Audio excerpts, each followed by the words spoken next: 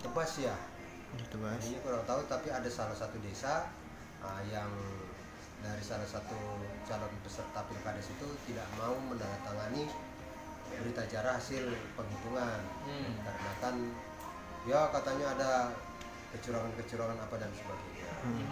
Tapi kalau gangguan kamtipmas secara keseluruhan secara nggak? umum tidak ada, alhamdulillah ya semuanya dapat berjalan dengan aman dan lancar dan Hmm.